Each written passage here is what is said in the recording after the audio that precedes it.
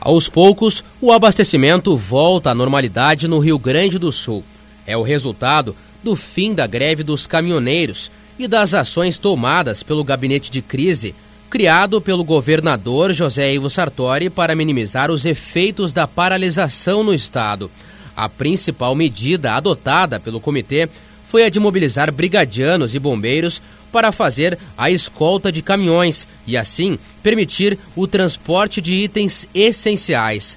Desde domingo, foram escoltados 1.760 veículos, que levaram principalmente combustíveis, alimentos perecíveis, ração animal e gás de cozinha. Nós, como governantes, temos que olhar para os milhões de gaúchos. São 11 milhões e 300 mil gaúchos como um todo que mesmo apoiassem essa situação, mas diante da decisão do governo federal de dar atenção a todos esses setores, nós achamos conveniente agora também de ver que o trabalho conjunto de todas as forças do governo estadual, das organizações municipais, das organizações federais, todos trabalhando integradamente com a coordenação do vice-governador Cairoli, deu a oportunidade de chegarmos a este nível de um pouco de tranquilidade. Agora vamos vencendo as dificuldades no dia a dia,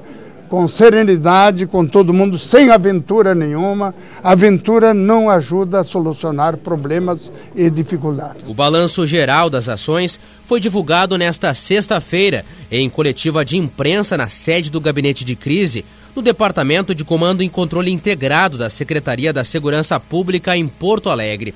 Apesar do fim da greve, o comitê vai permanecer mobilizado. Nos organizar para a gente trabalhar de uma forma em que a gente utilizasse todas as forças do Estado, da União e dos municípios que estavam à disposição. Então a gente teve que fazer uma organização complexa e cada dia a gente aprendia a gente ia clicando as nossas estruturas, as nossas ferramentas para que a gente pudesse atender.